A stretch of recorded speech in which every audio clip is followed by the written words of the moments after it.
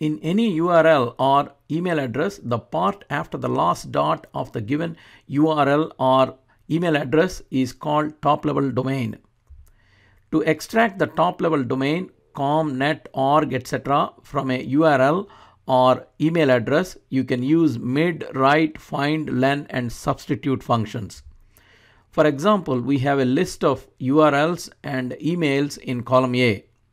Use this formula to extract top level domain. This formula uses the right function to extract characters starting from the right.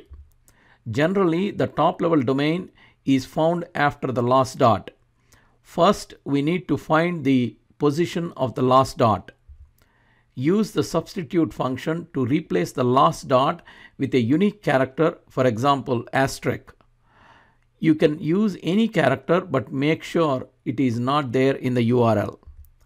The substitute function has an optional fourth argument that specifies which instance of the old text should be replaced. Use the len function to figure out which instance to replace.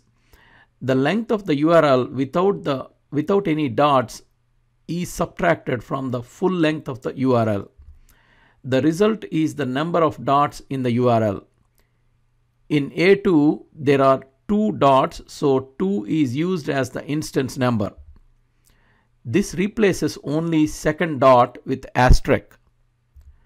Then we use find function to find the position of the asterisk, which is the position of the last dot.